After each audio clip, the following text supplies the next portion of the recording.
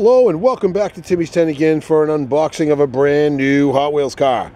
Today we have one here that I scored at Target right on the shelf. It was just hanging there and I thought it was really cool. It was just with all the other blue ones, which means it came out of the box with them. It is a 70 Ford Escort RS 1600, but it's also a Hot Wheels ID car. Number two of eight.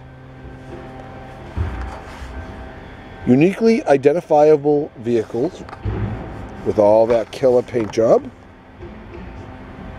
And there is an app that you can check on your car and see how it is doing. All right, now I'm not going to pretend I know what I'm talking about on that because I really don't. I don't do apps and I don't play these car race games, but it does sound really cool. I'm here to review the car.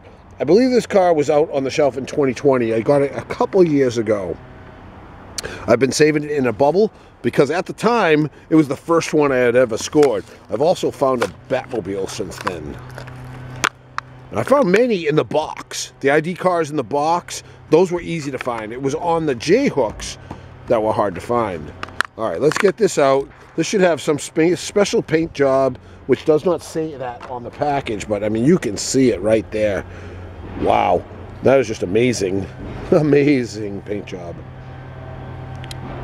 Anybody that's into Hot Wheels would understand why this paint job is really, really cool.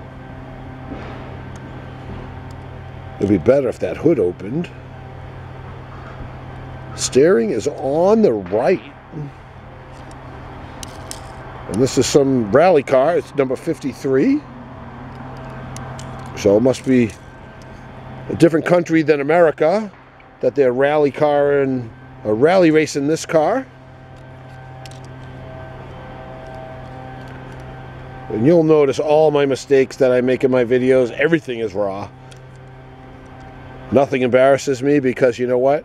Nobody else does it. Nobody else has videos that they don't edit, pause, add music.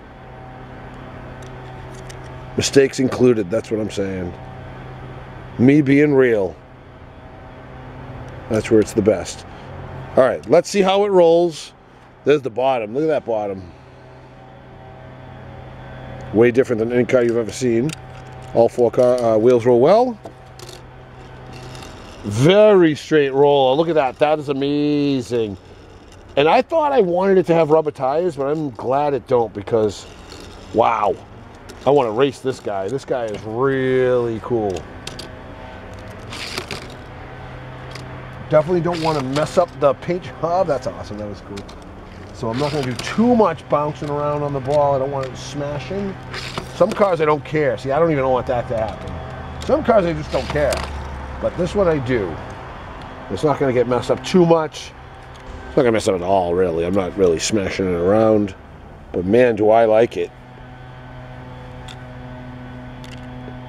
Thank you, everybody that tuned in. And check this out. Please subscribe to Timmy's 10 again. And this is going into my favorites case in case anybody's wondering. Yeah, this is like a paint job that I can't imagine letting get messed up in any way at all.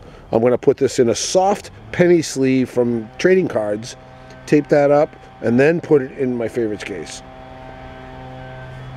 Thanks for tuning in and checking it out. Please subscribe. Until next time, T10 out.